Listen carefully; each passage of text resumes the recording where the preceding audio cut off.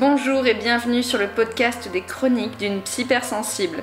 Je m'appelle Hélène, je suis psychologue hypersensible, spécialisée dans l'hypersensibilité, la psychologie positive et l'émerveillement de la vie. Si tu as envie que je te guide pour comprendre et apprendre à apprivoiser ta belle hypersensibilité, à t'accepter comme tu es avec bienveillance, à découvrir les trésors qui se cachent en toi pour les offrir au monde et ainsi pouvoir t'émerveiller de la vie, alors suis-moi, on y va ensemble.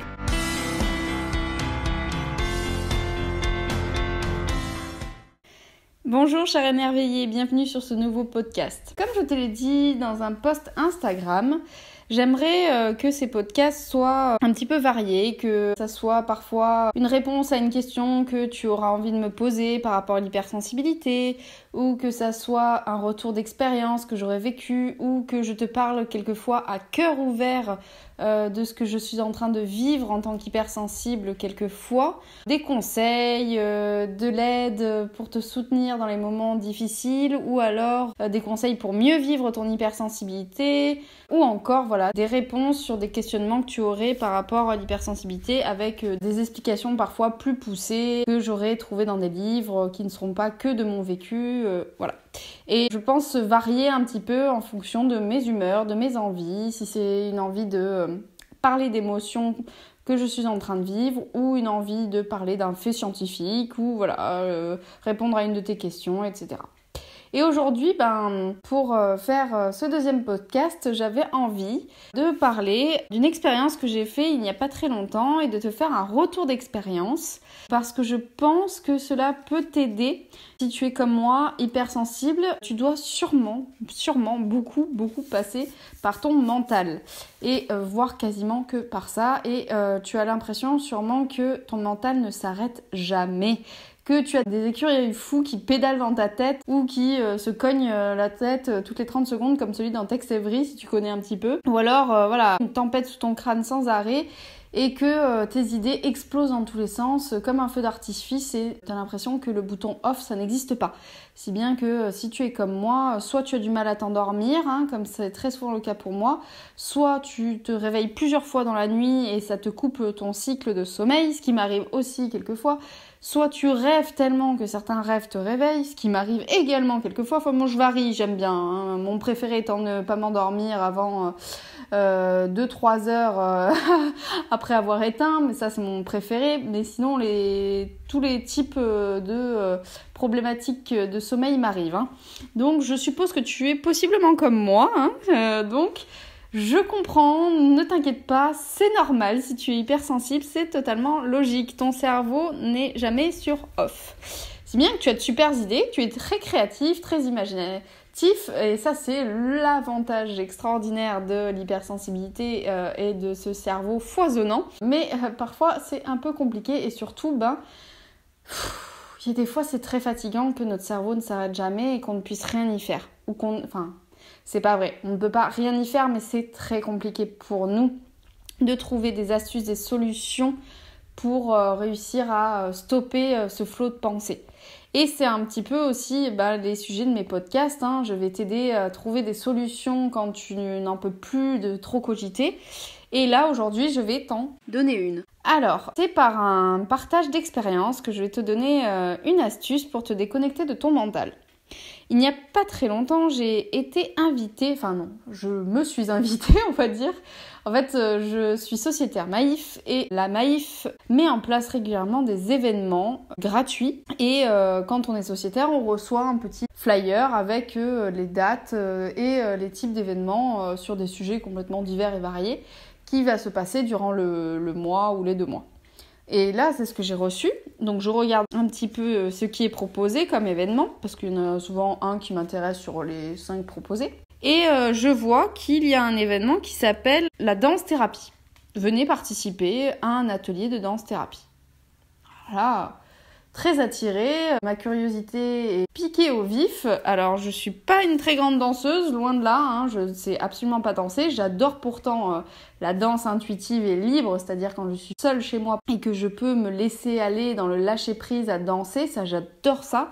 Mais par contre, je ne connais aucun mouvement de danse, je ne suis pas très douée pour ça parce que je n'arrive pas à retenir la technique des pas de danse. Mais j'aime beaucoup danser. Après, il y a la honte aussi qui me freine, le regard des autres, etc. Donc c'est un peu compliqué. Mais voilà, je suis forcément attirée. Mais je me sentais pas d'y aller toute seule dans un truc comme ça parce que la danse, euh, voilà, ça me fait un petit peu peur quand même. Et donc j'ai décidé euh, d'embarquer euh, ma maman avec moi, qui a accepté parce qu'elle est une danseuse. Et nous sommes allés donc à cet événement Maïf. Et j'ai vécu un moment extraordinaire, une expérience magnifique. Pour t'expliquer, donc la danse thérapie que nous avons fait a été une danse de lettres, on, appelle ça. Et la danse de lettres, en fait, est une forme de danse thérapie. Alors, euh, je vais te lire le dépliant que l'on nous a donné pour expliquer ce qu'est la danse de lettres, parce que je ne connais pas. C'est une méthode qui a été mise en place par Fabienne Courmont. Et donc, ce qui est dit de la danse de lettres, c'est que c'est un voyage initiatique à travers la danse vers une meilleure connaissance de soi, un outil puissant de développement personnel qui est basé sur le principe de l'énergie qui, lorsqu'elle circule librement en nous, permet l'harmonie. La danse de l'être et de la danse thérapie, le mot thérapie signifie ici qui remet en harmonie, où les mouvements proposés permettent de relier le corps, l'âme et l'esprit, de se reconnecter à la profondeur de son être. La danse de l'être puise sa source dans le tai chi, le buto, le théâtre no, le shinto, la danse chamanique, la danse sacrée indienne, le yoga intégral, etc. Au-delà de la danse, c'est un art de vivre qui donne des outils pour aider chaque individu à trouver l'harmonie dans les plans physiques, énergétiques, émotionnels, mental et spirituels. Et aucune expérience du mouvement est nécessaire, ce qui compte c'est l'amour de la danse. Donc euh, voilà, ça c'était pour la définition de la danse de l'être, ce qui m'allait très bien vu que je n'avais pas d'expérience de danse moi pour ma part. Donc euh, c'était plus dans le lâcher prise, dans l'intuition et ça m'allait euh, parfaitement. Et donc il fallait qu'on reconnecte, enfin qu'on réharmonise nos chakras pour se reconnecter à notre, euh, à notre être, à nos énergies. Et là, euh, la dame qui nous faisait le cours nous a dit qu'on allait danser sur les cinq éléments. Parce qu'en fait, euh, on va rééquilibrer nos chakras par les cinq éléments que nous avons tous aussi en nous. Donc nous avons dansé la terre, l'eau, le feu, l'air et l'éther. Et l'élément éther étant celui qui regroupe les quatre autres éléments, qui connectent en fait les quatre éléments ensemble. Et en fait, à chaque fin de danse de chaque élément, on devait euh, accueillir ce qui venait en nous. On a commencé par la terre. C'était pas une danse que j'appréhendais parce qu'en fait, c'était un, c'est un élément. Moi, je suis très dans mes signes astrologiques. Je suis, je suis très connectée à la terre, très ancrée, euh, la nature, etc. Ça ne me pose pas de problème. Pour chaque élément, en fait, on avait une musique un peu particulière. Et c'était intéressant parce que euh, ça nous amenait à être souvent des animaux. Et il fallait s'imaginer souvent dans, incarné dans un animal. Pour la terre, on avait une musique un peu de jungle. Et euh, moi, je me suis tout de suite imaginée en jaguar. Je sentais mes pattes, j'avais l'impression vraiment d'être un jaguar. Hein. donc, je sentais mes pattes ancrées dans la terre euh, moelleuse de la jungle. Je pouvais sentir humer les odeurs. J'avais l'impression voilà, d'être en chasse, de traquer quelque chose. Et j'ai été très connectée à cet élément, j'avais aucun souci à, m'y connecter. Et voilà, j'étais vraiment ancrée en tant que jaguar dans la jungle et c'était très intéressant. Donc chaque euh, élément a des codes en fait de danse. Hein. La terre, c'était des mouvements directs, géométriques, les pieds très ancrés. On était voilà un animal de terre forcément. Hein. Il fallait pas qu'on vole ou quoi que ce soit. Elle parlait elle d'éléphant beaucoup. Bah moi je me suis autrement, mais c'était celui qu'elle avait donné. Donc la Terre, c'est l'ancrage, la stabilité, la sécurité au niveau dimension physique, matérielle, euh, la libération émotionnelle, c'est les ressources, la confiance, les projets, la force, etc. Et ensuite, on devait passer à l'eau. Pareil, c'était pas un élément qui me posait forcément un problème. L'eau, c'était tout ce qui était euh, mouvement souple, lent, fluide, des ondulations, le corps voilà qui ondule, qui fait des huit, et on se déplace avec plutôt une certaine sensualité parce que c'est la connexion à la sexualité, à la sensualité, à la féminité et on devait faire comme si on était dans des vagues ou comme si on était des vagues dans de l'eau sacrée. Moi je me suis imaginée en nymphe qui euh, épousait l'eau, qui était presque l'eau elle-même. Pareil, aucun souci là-dessus, euh, c'était très agréable pour moi de le faire. Et ensuite on devait passer aux deux derniers éléments, donc le feu et l'air. Et là, par contre, je bloquais beaucoup, surtout pour le feu. J'appréhendais énormément euh, la danse du feu. Car en fait, la danse du feu, c'était une danse très énergique où il fallait expulser. C'était la force, l'action. Il fallait vider la colère, la joie intense, l'excitation. Il fallait euh, presque crier, pousser des cris, euh, faire des mouvements forts C'était vraiment des émotions très, euh, très fortes et euh, qui sortaient du plexus solaire en fait. il fallait trembler de nos pieds, fléchir nos genoux, faire jaillir les, les émotions de notre plexus euh, par des cris, des mouvements très énergiques. Et en fait, il faut savoir que comme beaucoup d'hypersensibles, moi je passe beaucoup donc par mon, mon, mental, ma tête, et je suis beaucoup dans mes pensées, dans mes rêves, et j'ai beaucoup beaucoup beaucoup d'idées, mais j'actionne peu. Moi j'ai vraiment, je bloque au niveau de l'action et je me fatigue très vite ou j'abandonne très vite parce que souvent aussi je suis perfectionniste et c'est jamais à la hauteur euh, quand je fais les choses de ce que j'ai dans la tête. J'ai des choses très précises dans la tête, un idéal euh, très précis et quand je mets en place l'action, ça n'est jamais à la hauteur de ce que j'imagine et que j'ai euh, clairement dans la tête et donc ça me décourage, ça me, ça me fait baisser l'estime de moi, ma confiance et donc j'abandonne et je fais pas parce que je me dis bah c'est pas assez bien, c'est jamais assez bien et donc je ne fais rien ou très peu ou j'abandonne très vite.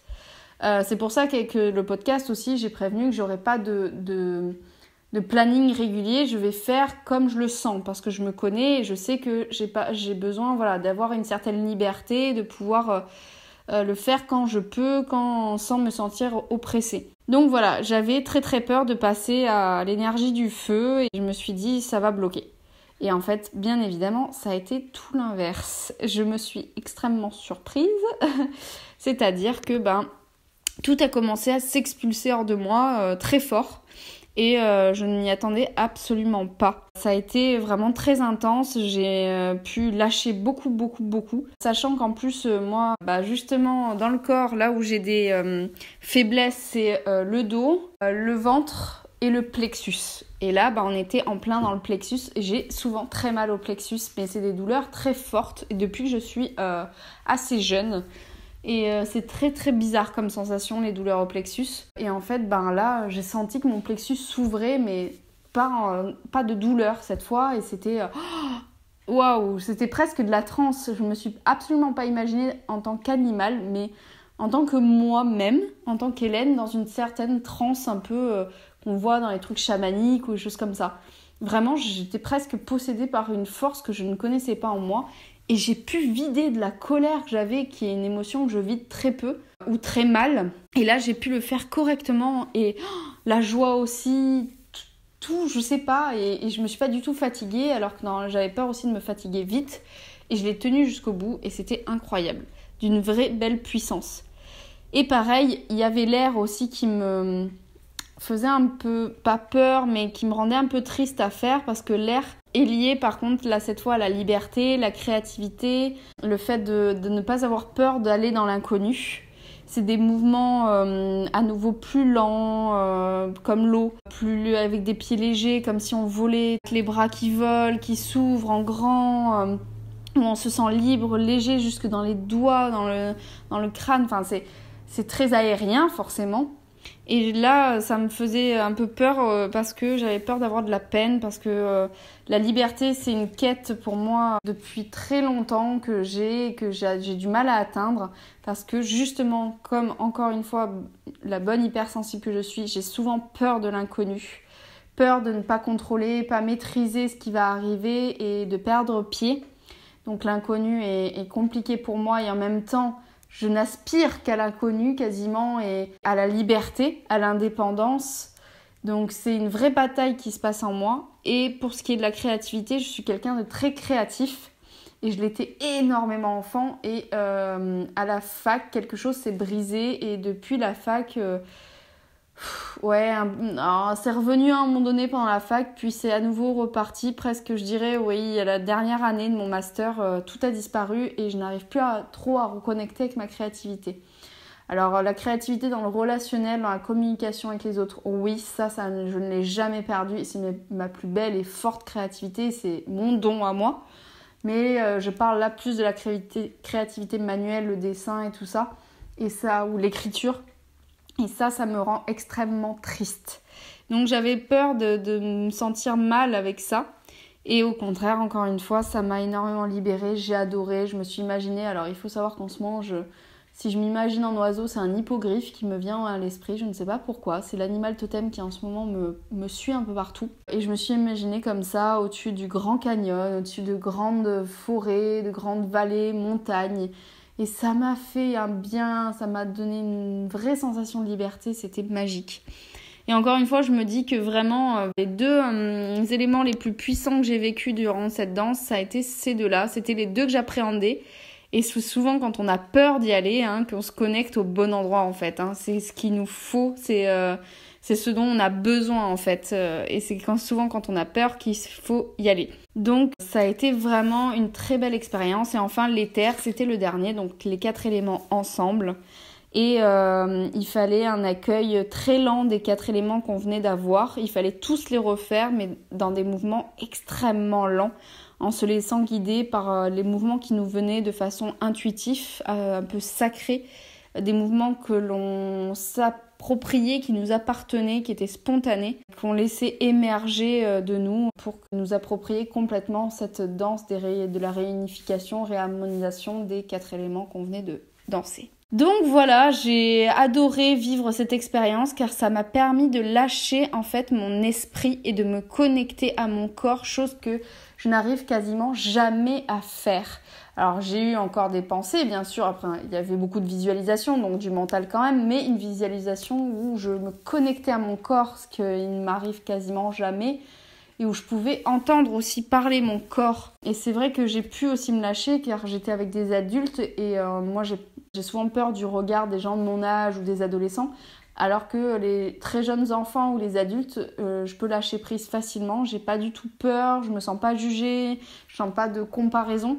Et donc là, j'étais qu'avec des adultes, j'étais la plus jeune. Et ça m'allait extrêmement bien car j'ai pu complètement me lâcher, m'exprimer. J'ai fermé les yeux tout le long, toutes les danses. Et j'ai lâché, j'ai déconnecté, j'ai arrêté d'être dans la comparaison, dans la peur de la honte, dans quoi que ce soit. Et ce qui était très très intéressant, c'est qu'avant d'y aller, j'avais extrêmement mal au ventre, chose qui m'arrive très régulièrement. Hein. Mon deuxième cerveau est très actif chez moi. Et là, j'avais vraiment très mal. Je me suis dit, mince, c'est vraiment bête quoi pour faire cette expérience. Je vais avoir mal au ventre tout le long. Ça va être, ça va être vraiment, vraiment, vraiment très embêtant. Et chose incroyable, vu que j'ai connecté à mon corps, que je lui ai laissé la place cette fois-ci, que je l'ai écouté, que je l'ai laissé s'exprimer je n'ai pas eu mal une seule seconde pendant une heure de la danse, pendant une heure de danse. Et j'ai eu à nouveau mal au ventre quand j'ai reconnecté euh, complètement à mon mental en le redélaissant après la danse. Le mal de ventre est revenu. Mais pendant une heure, ça m'a lâché. Comme quoi, hein, quand on est hypersensible, on oublie tellement de se connecter à son corps en fait. On est tellement dirigé par notre mental qui empêche le corps de s'exprimer. Le mental prend tellement toute la place et euh, ce qui fait qu'on n'écoute plus son corps alors que c'est impossible de faire ça, c'est tellement euh, néfaste, on est euh, des êtres complets, on n'est pas simplement un corps ou un, esprit ou les deux détachés, on est les deux ensemble, on est un tout, c'est holistique. On est corps et esprit, esprit et corps. On n'est pas un esprit d'un côté, un corps de l'autre. Les deux sont complètement reliés. Quand l'esprit va pas bien, le corps va pas bien. Quand le corps va pas bien, l'esprit va pas bien. C'est automatique. Les deux se connectent. Donc forcément, ben, quand euh, on est comme on est en tant qu'hypersensible, c'est très compliqué de laisser la place au corps quand le mental est si présent.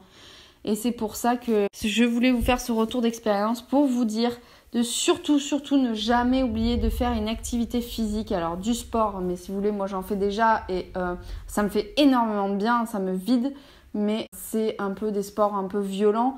Et je pense qu'il est très euh, bénéfique pour un hypersensible de cumuler plusieurs activités, le sport, des activités créatrices, des marches dans la nature, des activités sportives comme les danses thérapies justement, donc des activités sportives plus euh, plus, en, plus harmonieuses, plus sacrées, plus artistiques, ou le yoga, euh, des choses comme ça. Et moi, euh, je fais plus de musculation, de cardio, des choses qui dépensent, qui qui m'allègent le corps aussi, hein, qui me font du bien, mais ça n'est pas suffisant.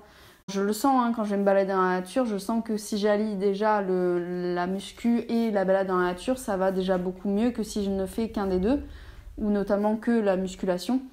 Mais alors là, la danse thérapie en plus, ou si on, vous mettez en plus bah, de la méditation par exemple, ça aussi, chose qui est très importante, mais j'y reviendrai dans un autre podcast. parce que j'ai fait une formation de pleine conscience et il faut absolument que je vous parle de ça. Mais voilà, la danse-thérapie a été une vraie révélation pour moi. Et si je peux vous euh, amener à euh, penser à mettre en place dans votre vie d'hypersensible ce genre d'activité, je ne peux que euh, vous y inciter, vous y inviter plutôt, parce que j'aime pas inciter tant que ça, j'aime plutôt inviter ou proposer, parce que je peux vous jurer que ça vous fera un bien fou. Vraiment, vraiment, vraiment, vraiment.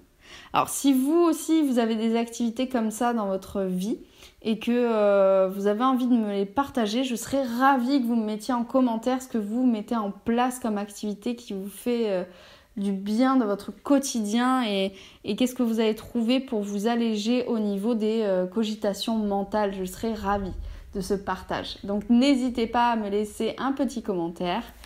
Sinon, j'espère que ce petit retour et partage d'expérience sur la danse de l'être vous aura plu que vous aurez appris euh, quelque chose par rapport à votre hypersensibilité. Si ce podcast vous a plu, n'hésitez pas à me laisser un commentaire et un petit pouce vers le haut. Ça fait toujours euh, euh, plaisir d'avoir des retours positifs ou même si vous avez des remarques à me faire avec bienveillance. C'est toujours aussi très intéressant d'avoir des retours, des remarques. Je vous dis à un prochain rendez-vous, à un prochain psychast D'ici là, portez-vous bien, prenez grand soin de vous et surtout, surtout, n'oubliez pas de vous émerveiller. Je vous dis à très bientôt. Ciao